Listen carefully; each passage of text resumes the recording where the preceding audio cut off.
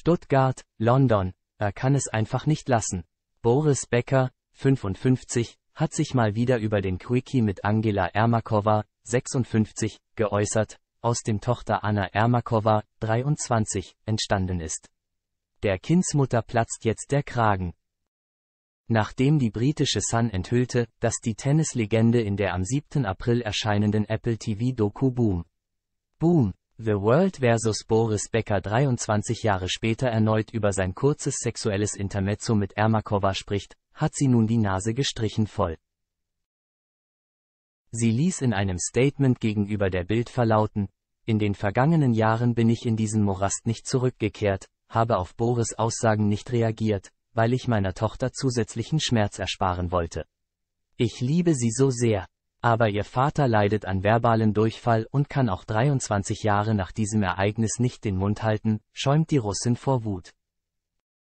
Rums. Diese Worte schlagen härter ein, als es die Vorhand von Boris jemals im gegnerischen Tennisfeld tat.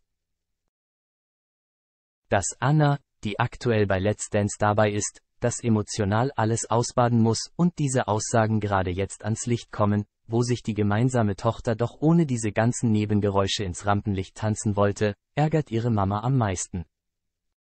Angela Ermakova kann das Verhalten von Boris Becker nicht fassen. Angela Ermakova legt nach, wenn der Vater eine Geschichte wie diese immer und immer wieder verkauft, verkauft er seine Seele. Es ist nicht das Verhalten eines liebenden Vaters, der er vorgibt zu sein, und nicht das eines Mannes, der noch irgendeine Würde in sich trägt. Das habe sie Boris auch schon persönlich gesagt, aber offenbar fielen die Worte bei der Tennislegende nicht auf fruchtbaren Boden, so dass die Russin sich nun gezwungen sah, ein letztes Mal ihr Schweigen zu brechen, damit er darüber nachdenkt, welches Karma er anzieht, wenn er sich so verhält. Warum sich seine ehemalige Kurzaffäre so erzürnt? Weil Boris Becker in der Doku auf Apple TV bei der Darstellung bleibt, er habe Angela vor dem Quickie auf der Treppe des Londoner Nobel-Restaurants Nobu im Juni 1999 nicht gekannt. Wir kamen zusammen und hatten Sex. Ich hatte keine Nummer von Angela, ich hatte keinen Kontakt, und das war's. Dem hatte die Russin bereits in einem bunte Interview 2003 widersprochen, nun tut sie es erneut. Ich habe in meinem bunte Interview öffentlich die Wahrheit gesagt, und ich stehe zu meinem Wort. Ich habe Boris bereits im Februar getroffen, also ein paar Monate vor der besagten Nacht.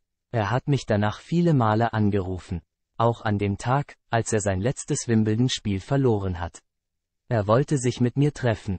Am 30. Juni 1999 erklärt Ermakova gegenüber der Bild. Der Witz daran, die Russin beteuert, sie habe seit 1993 ihre Nummer nicht geändert.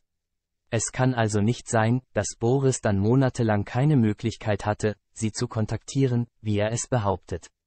Mal sehen, ob er die Geschichte nun ein für alle Mal zu den Akten legt, oder erneut darüber plaudern wird.